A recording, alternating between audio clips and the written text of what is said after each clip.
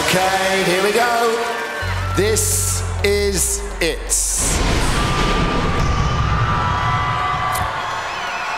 Britain has voted. I'm about to reveal the winner of the X Factor 2016, our 13th champion. Good luck to both of you.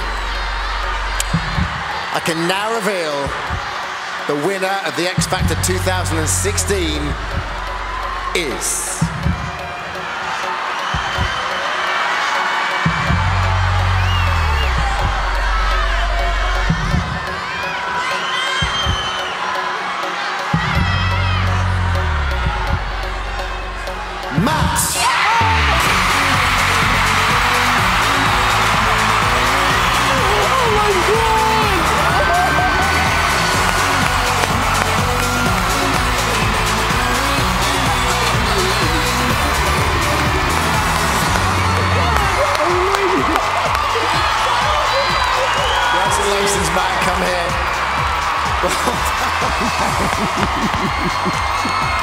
Oh, you auditioned all those months ago in London. Months and months and months of hard graft. I know it's a difficult question to answer. What is going through your mind right now? Thank you. Thank you so much, everybody. Do you want to see you in a single? Yeah, there it is. Oh.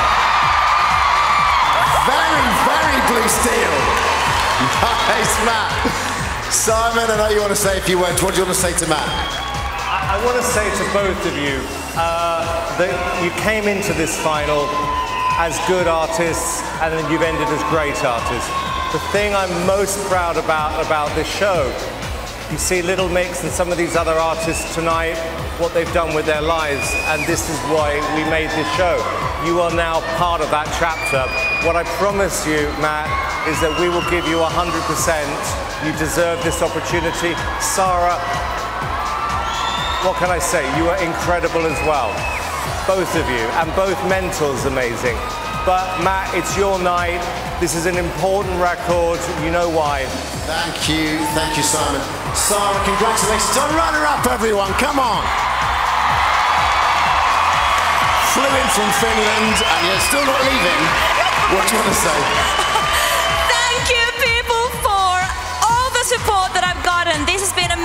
Journey for me. I never thought I could make it this far. So I'm just so happy, so happy for Matt. Congratulations, I love you. Saara, you have been extraordinary. Thank you so much. Kitos Finland, which is ours now. Ladies and gentlemen, one more time. Give it up for Saara.